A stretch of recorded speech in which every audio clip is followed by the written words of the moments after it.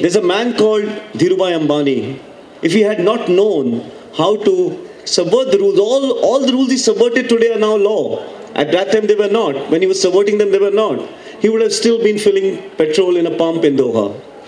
And that's how I'm saying. And today you see all across the landscape in Delhi and Bombay, people coming from nowhere, from the wrong side of the tracks, not having the, uh, uh, the, the, the privilege of, uh, of, of elite education, of elite backgrounds, of admission to elite clubs, but breaking through on the basis of their wit, their intelligence, and their hunger, and very often subverting the rules that the uh, certain class has made. May So, um, Ashish, I'm going to open it up Yes, for. just uh, respond to this part. Very because quickly. he is not very briefly. Yeah. He is not saying the most important part of the story, which will shock you, and it will be a very un- undignified and uh, how should I put it, almost vulgar statement on my part.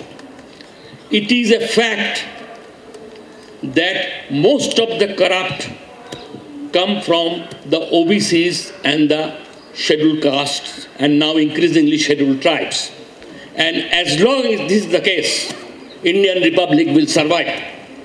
I want, I want to, I Indian want to Republic will respond to survive. this. All right. And So- I give you an example. One of the states with least amount of corruption is the state of West Bengal, where when the CPM was there. And I want to propose to you, draw, your attention to the fact that in the last hundred years, nobody from the OBCs, the backward classes, and the scheduled castes and the scheduled tribes have come anywhere near power in West Bengal. It is an absolutely clean state. Oh, Roshi, I, I, Okay, I, I, I, I, uh, no, sorry, sorry. I, I have to respond to this because I think this is this is this is a classical case of uh, with no, with no disrespect to please. Ashish Nandy. This is a classical case of how elite in this India they perceive the downtrodden, the Dalits, the OBCs, and all. This is this is I think this is the most bizarre statement I've ever heard in this country. I, I, I, just can't imagine. I just can't imagine the Brahmins and the Thakurs and the upper caste and the upper class in the society which has the sophistication to do corruption without being caught.